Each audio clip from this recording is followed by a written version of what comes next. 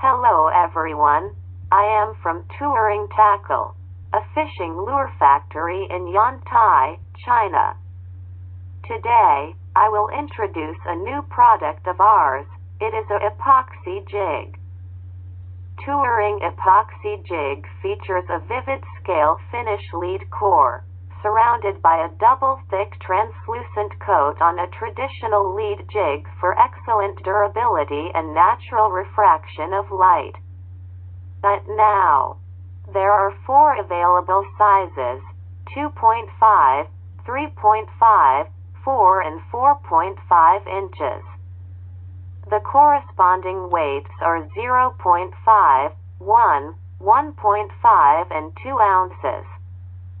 Tworing epoxy jig is popular for false albacore and bonito. They can also be used for bluefish, Spanish mackerel, striped bass, sea bass, and fluke. We are developing more new items. If you are interested, please email to us or check our website.